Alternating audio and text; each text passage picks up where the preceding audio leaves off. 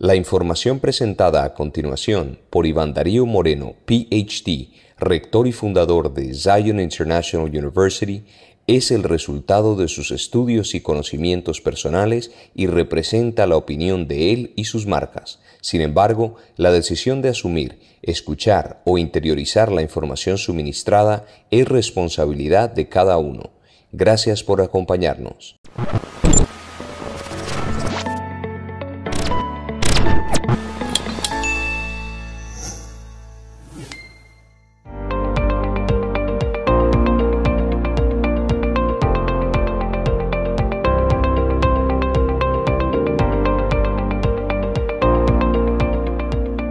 Hola, muy buenos días, tardes y noches a todos ustedes. Les sale Bandario Moreno. Bienvenidos a mi programa de neuroeducación. En esta vez les voy a hablar sobre un tema muy interesante que se llama la atención. Y bueno, primero hay que preguntarnos qué es la atención. Y no ha sido fácil definir la atención. Eh, la psicología lo define de una manera, la biología de otra, los neurocientíficos de otra. Es decir, definir la atención no es fácil, y dependiendo de la noción de atención, pues así mismo va a ser la manera en cómo la vamos a estudiar.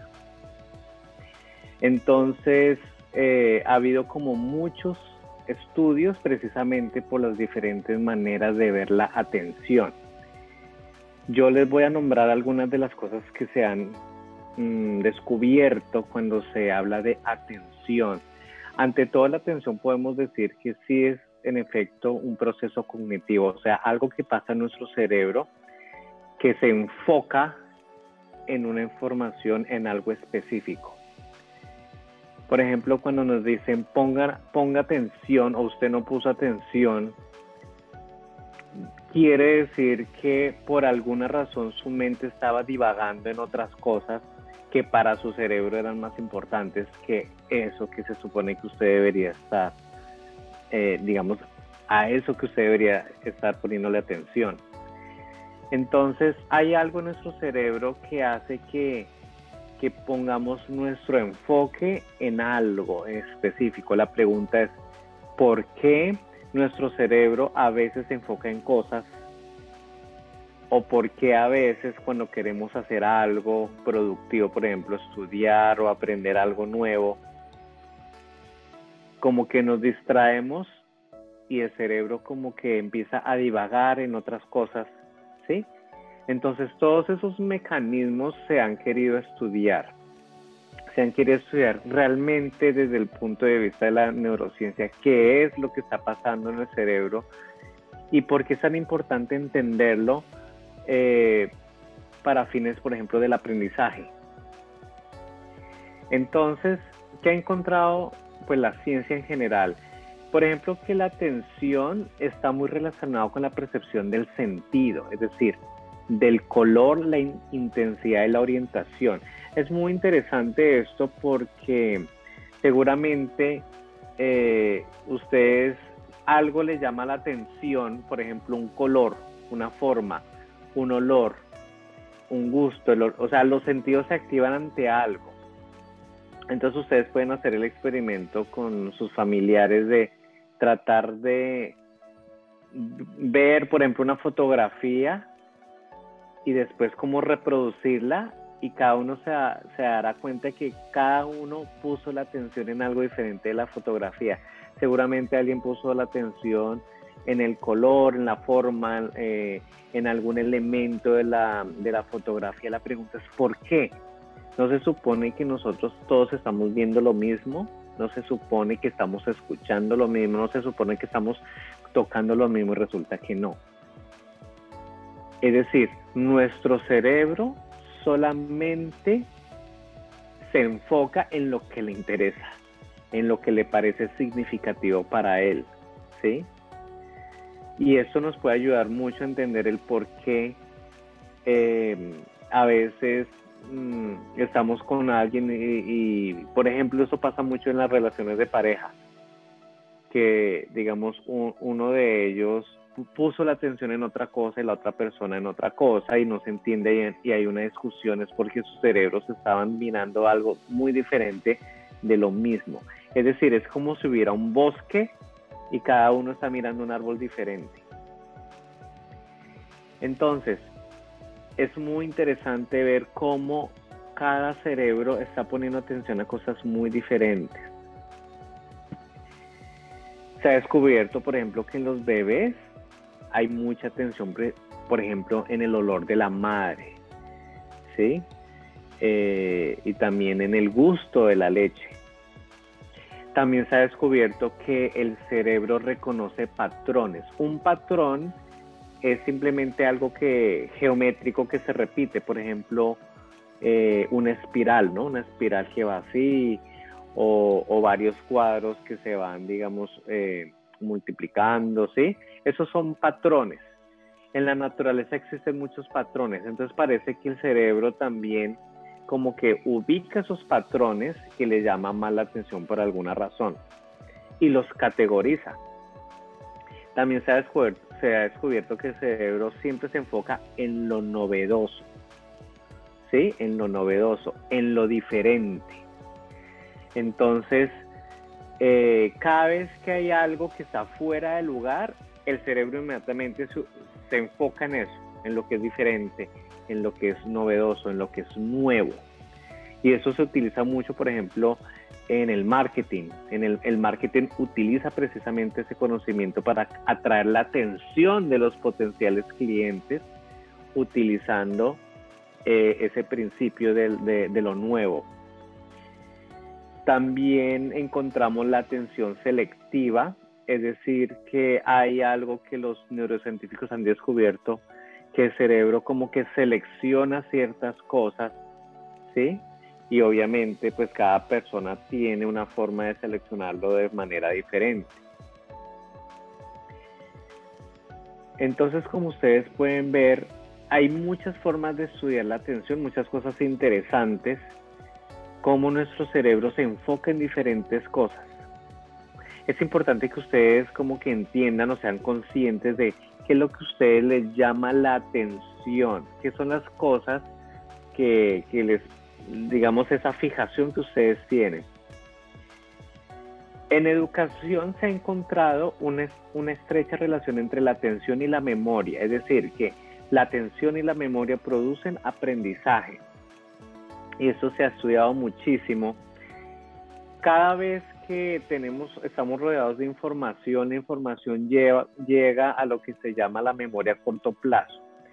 Y, de la, la memoria a corto plazo, eh, a corto plazo es muy, digamos, tiene poca capacidad.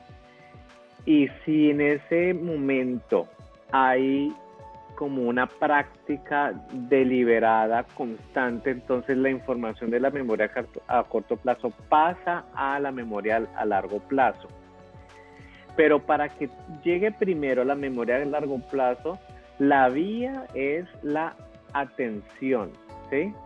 Es decir, de toda la información que llega, porque estamos bombardeados de mucha información y llega por todos nuestros sentidos, la atención lo que hace es como filtrar y mandarlo a la, memoria a corto plazo y de ahí entonces empieza otro filtro hacia la memoria a largo plazo.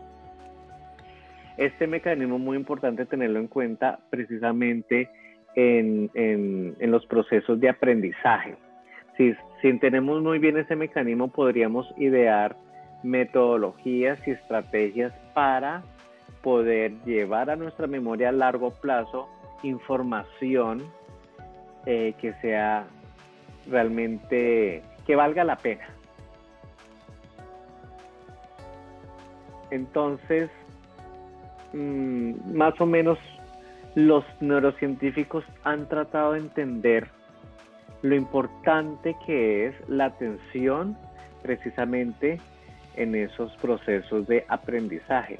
También los neurocientíficos han han visto que hay como una red de atención, ¿sí? Eh, ellos lo han llamado como una red de atención y digamos han localizado ciertas partes del cerebro donde se iluminan más en lo que es la atención, la orientación y la ejecución. Entonces se forman como una red muy interesante en nuestro, en nuestro cerebro.